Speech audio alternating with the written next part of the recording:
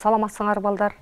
Бүгүн дүйнөнүн экономикалык социалдык географиясы онунчу класстар үчүн сабагыбызды баштайлы. Бүгүнкү сабактын темасы дүйнөнүн кайра иштетүү өнөр жайы айыл чарбасы транспорту. Сабактын максаты дүйнөнүн кайра иштетүү өнөр жайы айыл чарбасы транспорту жөнүндө билимибизди калыптандырабыз. Сабактын милдеттери. Биринчи милдетибиз дүйнөнүн кайра иштетүү өнөр жайы айыл чарбасы транспорттун курамын негизги белгилерин талдайбыз. Жана дүйнө жүзүндөгү өлкөлөрдө жайгашуу өзгөчөлүктөрүн аныктайбыз экинчи милдетибиз контурдук картага айыл чарбасындагы өсүмдүктөрдүн кеңири таралган аймактарын белгилейбиз анда эмесе балдар сабакка көңүл буруп дептериңерге жазып контурдук картага белгилеп эске тутуп отурабыз дүйнөнүн кайра иштетүү өнөр жайы дүйнөнүн кайра иштетүү өнөр жайы бул бир же бир нече тармактардан чийкилей сыруу алынып кайра иштетилип жаңы продукциянын алынышы дүйнөнүн кайра иштетүү өнөр жайынын негизги тармактары тамак аш өнөр жайы жеңил өнөр жайы химия өнөр жайы металлургия машина куруу токой иштетүү курулуш материалдар. Мисалы мал чарбасынан алынган эртенүүнү карайлы. Жылына дүйнөдө эки жүз жыйырма миллион тонна эт даярдалат. Анын көбү чочко эти андан кийин уйдун эти үй куштарынын жана койдун эти. Эт даярдоо боюнча алдыңкы өлкөлөр кытай америка кошмо штаты бразилия франция германия федеративдүү республикасы россия. Этти керектөөнүн рекордсмени жаңы зеландияда. Жылына ар кишиге төрт жүз килограмм эт туура келет. Дүйнөдө жылына беш жүз миллион тонна сүт өндүрүлөт. Алдыңкы орундарда америка кошмо штаты индия россия германия федеративдүү республикасы франция. Ал эми дүйнөдө жылына жети жүз миллиард жумуртка өндүрүлөт. Бул биринчи орунда кытай америка кошмо штаты япония. Ошондой эле дүйнө жүзүндө жылына эки жарым миллион тонна жүн өндүрүлөт бул алдыңкы орундарда австралия кытай жаңы зеландия. Дүйнөлүк айыл чарба дүйнөлүк айыл чарба материалдык өндүрүштүн экинчи жетектөөчү тармагы дүйнөлүк айыл чарбада бир бүтүн ондон үч миллиард адам иштейт айыл чарбасын окумуштуулар элүү түргө бөлөт балдар сүрөткө да көңүл бургула бирок аларды эки топко бөлсөк да болот. Анда эмесе балдар класстерге көңүл бургула. Айыл чарбасы эки чоң топко бөлдүк. Бул биринчи тобу дыйканчылык экинчи мал чарбачылык дыйканчылык ичинен дан өсүмдүктөргө май чыгаруучу өсүмдүктөргө жана азык эмес маданий өсүмдүктөргө бөлүнөт. Дан өсүмдүктөрү ичинен буудай. Күрүч жүгөрү ал эми алуучу өсүмдүктөргө зайтун күн карама азык эмес маданий өсүмдүктөргө пахта зыгыр каучук ал эми айыл чарбасынын экинчи чоң тармагы мал чарбачылык бодо мал чочко кой чарбасы балык уулоо илим техника революция мезгилинде дүйнөлүк айыл чарбасы механизациялаштыруу жана химиялаштыруу жогорку деңгээлге жеткен бүгүнкү күндө микроэлектрониканы автоматташтырууну селекцияны генетиканы жана биотехнологиянын эң жакшы жетишкендиктерин колдонуп жатышат. Айыл чарбасынын дыйканчылык тармагы дан өсүмдүктөрү дүйнөлүк айыл чарбасынын негизи иштетилген жердин экиден бир бөлүгүн дан өсүмдүктөрү ээлейт дан жыйноонун дүйнөлүк деңгээли акырындап жогорулап отуруп эки миң он тогузунчу жылы эки жарым миллиард тоннага жеткен. Дан чарбасы өсүмдүктөрдүн үч түрүнө сүрөткө карагыла балдар буудай күрүч жүгөрүгө таянып жалпы түшүмдүн бештен төрт бөлүгүн жана калктын азыгынын экиден бир бөлүгүн камсыз кылат. Буудай буудай дүйнөдөгү калктын негизги азыгы. Академик вавилов буудайдын мекени алдыңкы азия жана жеротолук деңиздин жээги экендигин далилдеген. Бул жактан акырындап бүткүл тараган.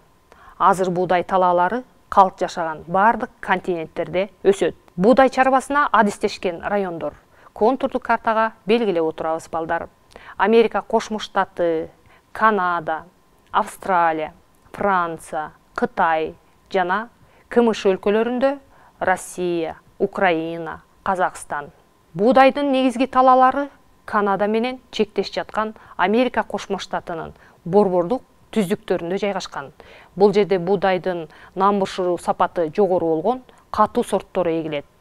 Виннипег шаары канададагы буудай борбору деп аталат. Күрүч күрүч дүйнөдөгү калктын нанды алмаштырган негизги азыгы. Бул биздин заманга чейин кытайда эгилүүчү маданий өсүмдүк. Буудай сыяктуу эле күрүч баардык континенттерге тараган.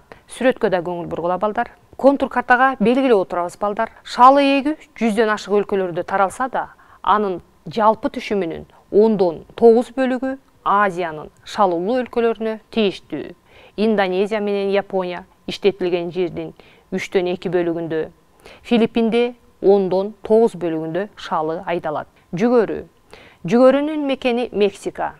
Америка ачылгандан кийин дүйнөгө тараган жүгөрү дан үчүн гана эмес жашыл массасы үчүн да өстүрүлөт. Жүгөрү өндүрүүчүлөр америка кошмо штаты кытай бразилия. Жүгөрү эгилүүчү башкы район америка кошмо штатынын жүгөрү алкагы. Ал улуу көлдөрдүн түштүгүндө жайгашкан айова штатында. Дан чарбасын экспорттоочу өлкөлөр карайбыз картаны балдар америка кошмо штаты канада франция австралия аргентина бразилия. Өсүмдүк өстүрүүчүлүк. Дан өсүмдүктөрүнөн башка калкты азык түлүк менен камсыз кылуучу май берүүчү өсүмдүктөр. Картошка кант кызылчасы жашылча жана мөмө жемиш. Дан өсүмдүктөрүнө караганда алар эмгекти көп талап кылат. Май чыгаруучу өсүмдүктөр. Май чыгаруучу өсүмдүктөр дан өсүмдүктөрүнөн кийинки маанилүү орунду ээлейт. Дүйнөдө колдонулган майдын үчтөн эки бөлүгү өсүмдүк майлары азия африка жана латын америка алдыңкы орунда буурчок жыйнаа боюнча биринчи орунда америка кошмо штаты жер жаңгак боюнча индия зайтун боюнча греция. Дүйнөдө кеңири таралган маданий өсүмдүктөрдүн бири картошка. Анын мекени перунун тайпак тоолору анда эмесе балдар контурдук картага белгилеп отурабыз картошка жыйнаа боюнча алдыңкы орундарды кытай россия индия америка кошмо штаты польша. Калктын азыктануусуна кант берүүчү өсүмдүктөрүнүн мааниси зор. Дүйнөдө жылына жүз жыйырма беш миллион тонна кант өндүрүлөт. Анын үчтөн эки бөлүгү балт камыштан үчтөн бир бөлүгү кант кызылчасынан алынат. Бал камыштын мекени америка тропиктик жана субтропиктик климатта өстүрүлөт. Кант кызылчасы мээлүүн алкактардын өсүмдүгү анда эмесе балдар картага карайбыз көңүл бурабыз алар россия украина чет өлкөлүк европа түндүк америкада өстүрүлөт. Жыттуу өсүмдүктөр жыттуу өсүмдүктөр чай кофе какао. Тропиктик климатта чай субтропикте өстүрүлөт. Чайдын мекени кытай. Европага он жетинчи кылымда алынып келинген дүйнөдө чайдын бештен төрт бөлүгүн азия өлкөлөрү индия кытай шри ланка берет сүрөткө да көңүл бурабыз балдар кофенин мекени африка. Бирок кофе жыйноонун үчтөн эки бөлүгүн латын америкасы бразилия колумбия алдыда. Ал эми какаонун мекени латын америкасы. Бирок какаону жыйноо боюнча африканын гвинея булуңунун өлкөлөрү алдыда. Азык эмес маданий өсүмдүктөр булалуу өсүмдүктөрдөн эң маанилүүсү пахта. Пахта эгүү анын түшүмү боюнча азия өлкөлөрү алдыда. Экинчи орунда америка үчүнчү орунда африка. Зыгыр өндүрүүнүн төрттөн үч бөлүгүн россия белоруссия берет жут боюнча бангладеш. Табигый каучук индонезия. Контурдук картага белгилейбиз таиланд малайзия өстүрүшөт айыл чарбасынын экинчи чоң тармагы мал чарбачылык тармагы мал чарбасы бодо мал чочко кой чарбасы балык уулоо анда эмесе балдар ушул тармактарга бирден токтолуп өтөбүз. Бодомал. Бодомалдан сүт жана эт алынат. Сүт жана эт багытындагы мал чарбачылык токойлуу талаа зоналарында жакшы өнүккөн. Эт багытындагы мал мээлүн жана субтропиктикалык алкактын кургакчыл жерлеринде жайыттарда багылат. Америка кошмо штаты канада аргентина австралияда бодомал багуучу чарбалар ранчо. Эт фабрикасы уюштурулган. Дүйнөдө бодомалдын өлкөлөр боюнча таралышы. Бодомалдын үчтөн бир бөлүгү индияда анда эмесе балдар диаграмма көңүл бургула. Мына балдар бул диаграммада карап атабыз индия алдыңкы орунда туруп атат. Андан кийинки орунда бразилия кийинкиде кытай америка кошмо штаты аргентина туруп атат. Бирок индияда алар сүт эт багытында эмес ыйык жаныбар катары багышат. Чочкочулук. Чочкочулук дүйнөдөгү өндүрүлгөн эттин бештен эки бөлүгүн берүүчү тармак ал калк жыш жайгашкан ири өнөр жайлуу райондордо картошка көп айдалган жерлерде. Дүйнөдө чочконун жарымы кытайда кой чарбасы кой чарбасы дүйнөдө ным жетиштүү жерлерде эт жүн багытында ал эми кургакчыл жерлерде уяң жана чала уяң жүндүү койлор асыралат. Балык уулоо балык уулоо эң байыркы кесиптердин бири. Азыркы мезгилде калктын азык түлүк менен камсыз кылган дүйнөлүк чарбанын маанилүү тармагы жылына жүз отуз миллион тонна балык кармалат балык уулоонун эпицентри тынч океандын түндүгү жана чыгышы түштүк американын жээги дүйнөлүк балык уулоонун отуз миллион тоннасы жасалма жолу менен балык өстүрүүгө же аквакультурага туура келет аквакультура мындан төрт миң жыл мурда кытайда пайда болгон бүгүнкү күнгө чейин биринчи орунда транспорт. Транспорт эмгекти географиялык бөлүштүрүүнүн негизи баардык жолдор транспорттук ишканалар жана каражаттар дүйнөлүк транспорттук системаны түзөт дүйнөлүк транспортто жүз миллиондон ашык киши иштейт транспорттук жолдордун узундугу кырк эки миллион километр.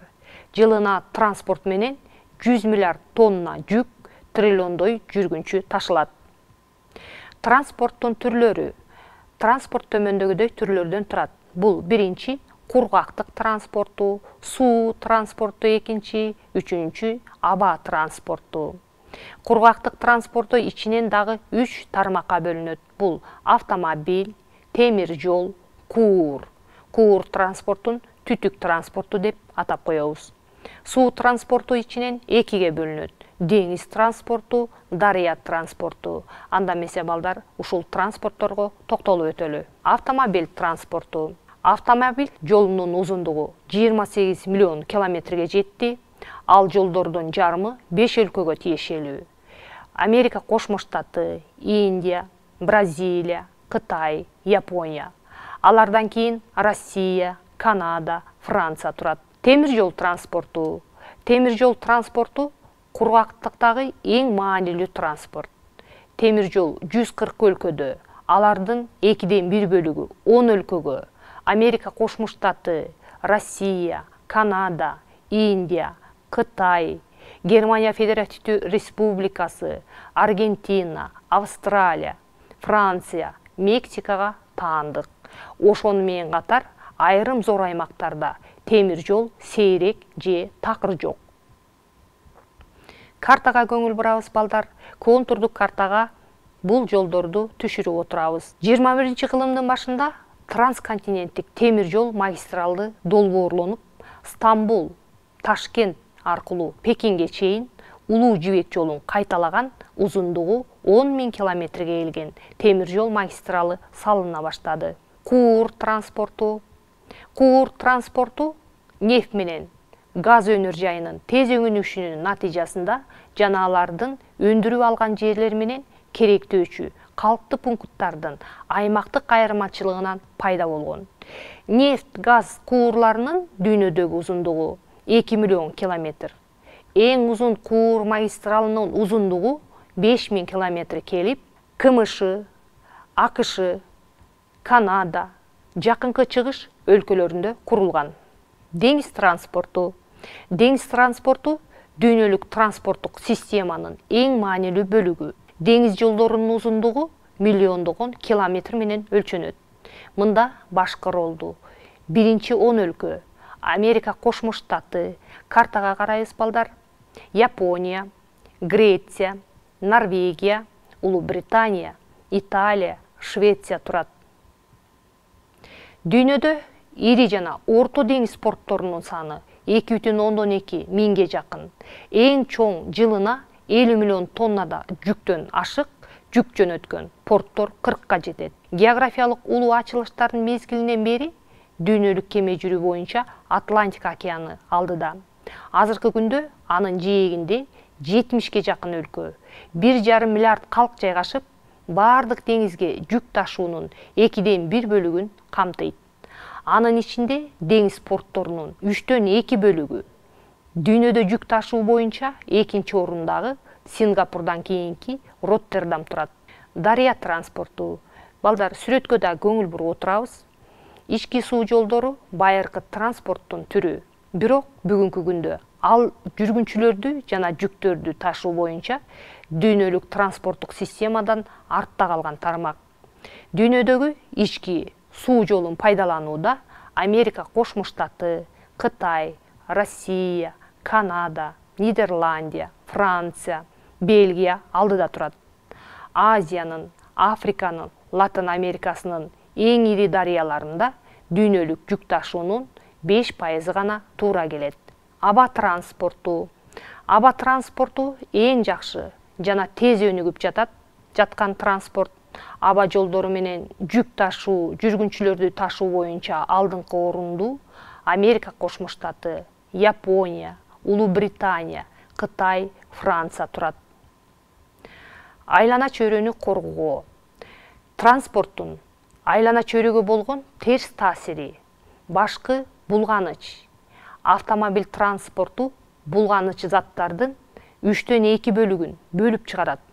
Аба транспорту атмосфераны булгайт. Темир жол тепловоздор түтүн чаң чыгарат. Транспорттун баардыгы дүрүлдөп үн чыгарып айлана чөйрөгө жагымсыз абалды алып келет. Суу транспорту гидросфераны булгайт. Өзгөчө нефть ташыганда. Көп өлкө айлана чөйрөнү транспорттук булгоодон коргоо чаралары иштөөдө бензиндеги коргошундун үлүшүн азайтуу электромобилдерди көбөйтүү суутекти жана газды пайдалануучу чаралары көрүлүп жатат. Анда эмесе балдар бүгүнкү жаңы тема боюнча тест биринчи суроо. Канада өлкөсүндөгү кайсы шаарды буудай борбору деп аташат? А. Ванкувер б. Оттава в. Монреал г. Виннипег д.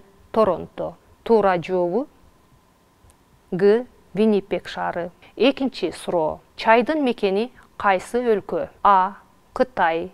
Б. Индонезия. В. Шри ланка г. Индия. Д. Бразилия. Туура жообу а. Кытай. Үчүнчү суроо эттик керектөөнүн рекордсмени кайсы өлкө? А. Япония. Б. Индия. В. Акш г. Перу. Д. Жаңы зеландия. Туура жообу д. Жаңы зеландия. Төртүнчү суроо. Аба жолдору менен жүк жана жүргүнчүлөрдү ташуу боюнча алдыңкы орунда кайсы өлкө? А. Австралия. Б. Россия. Г. Германия федеративдүү республикасы. Г. Америка кошмо штаты. Д. Канада туура жообу г америка кошмо штаты. Бешинчи суроо. Балык өстүрүүнүн жасалма жолун эмне деп аташат? А. Монокультура. Б. Аквакультура. Б. Поликультура. Г. Ранчо. Д. Фазенда. Туура жообу б. Аквакультура. Анда эмесе балдар бүгүнкү жаңы темабызды аяктадык үйгө тапшырма алабыз биринчи тапшырма окуу китебиндеги тексти сүрөттөрдү таблицаларды жана атластагы айыл чарбасынын карталарын пайдаланып дан өсүмдүктөрүнүн дүйнө боюнча таралышын мүнөздөгүлө экинчи тапшырма окуу китебиндеги тексти сүрөттөрдү таблицаларды жана атластагы айыл чарбасынын карталарын пайдаланып дептериңерге системалаштырылган мал чарбасы жөнүндө төмөндөгүдөй таблица түзгүлө биринчи таблица жагына мал чарбасынын тармактары а. Бодо мал б. Чочко в.